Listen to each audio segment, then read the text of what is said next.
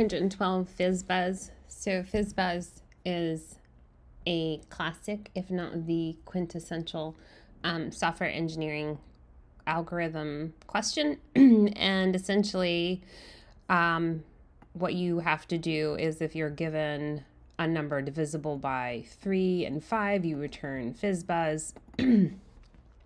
if you, you return fizz if it's divisible by 3 and buzz if divisible by 5 so this is a variation of fizz buzz. There's all kinds of um, ways and to ask fizz buzz. Um, but in this question you're given an integer n and you have to solve from every uh, integer 1 up to n. And you have to put as your output a list of strings. So for instance if your input is 3 you have to start at 1 and 1 is indivisible by 3 and 5 or 5. So you just write, you just add the number 1 and then you add 2 and then you add fizz because it's divisible by 3. So the most common and simplest variation of FizzBuzz is when you're given one number and you just have to print out fizz or buzz or FizzBuzz. Um, but in this version, you have to iterate through a bunch of numbers and then you also have to turn a list of strings. So um, there's a couple of things to look out for. Um, but the first thing you have to know is how the modulo, it's spelled like modulo, how the modulo operator works. um, that's like a key factor into solving this problem.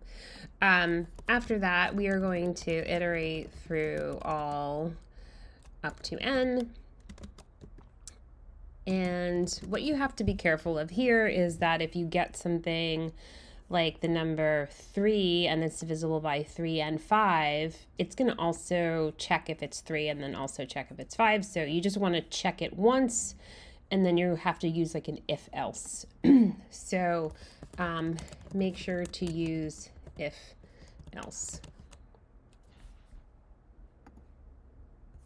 So the first thing is how the modulo operator works. So essentially the way the modulo operator works is if um, what it gives you is the number, the first number, which is like maybe it's two, and then if you take the modulo of that,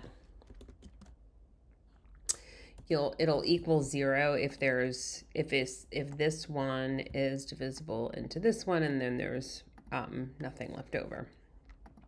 So this is like the perfect operator for this fizz buzz problem because if something isn't divisible by three, or I mean, I'm sorry, is divisible by three and is divisible by five, it'll be both um, modulo three, it'll equal zero, and modulo five, it'll equal zero. Um, this isn't going to be right. Um,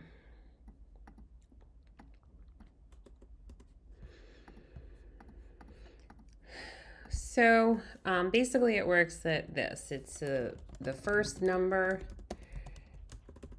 number, and then the modulo, which means um, divided by second number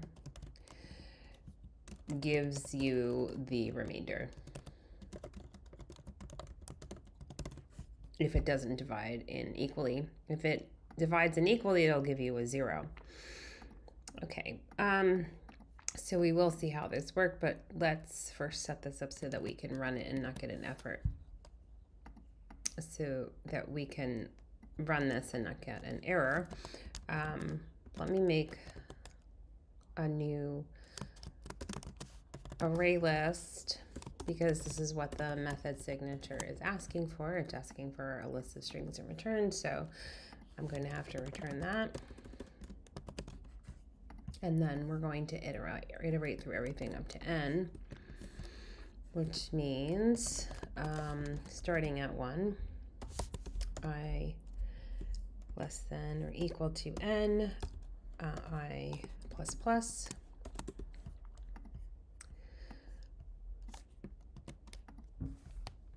So here we're iterating through all of them and we have to make sure if we use if else.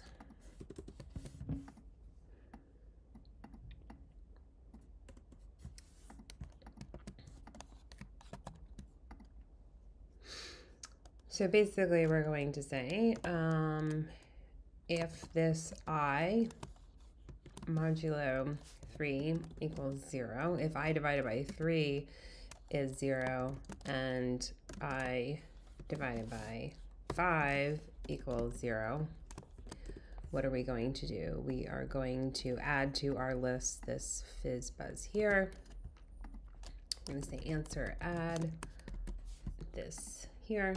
Um, now we have to make sure to use else if um, because um, we don't want it to add um, twice. We wanted to add only once. So for instance, if it's something like 15, it'll add fizz buzz on and then fizz because it'll be divisible by 3. So we only want to enter this if the first one wasn't true.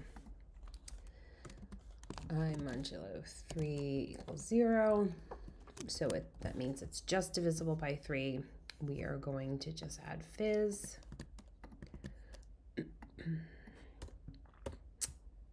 And then else if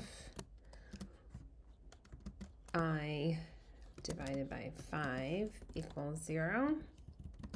There's no remainder. We're going to add buzz. Oops. And if we get there and it's not divisible by any of those, we are just going to add i. And so an easy way to convert this integer to a string is if we just concatenate it with a blank string, and that will convert it to a string without really doing any other conversion typing, and it'll add it to there. Okay, so we did use if else and let's see we could run that and it should work and I'll submit it gives me an okay runtime um, but let's try to make it faster this is something like a little sort of uh, Java trick that I like. Instead of using this else if, what we can do is, I'm just going to use if. Just to have to check every single one. And then I'm just to do oh, here. Um, what you can do is you can name your for loop. So I'm to just name my for loop um, go here, and then I'm to put a uh, colon. And so if I enter this if clause, I'm just to say continue,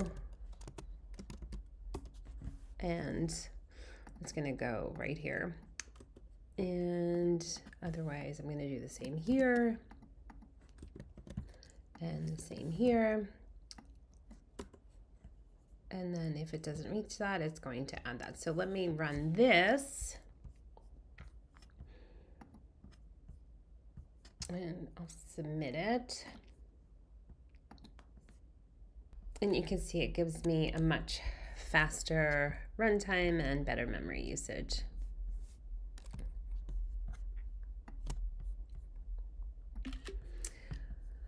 Okay, um, I think that's it. So this is just like a sort of helpful thing to do if you ever really just want to like explicitly. And so go here obviously doesn't mean anything. I just named it that. Um, you can call that loop whatever you want, but you could always use this naming convention and you can just go right to it. Okay, thank you. Bye.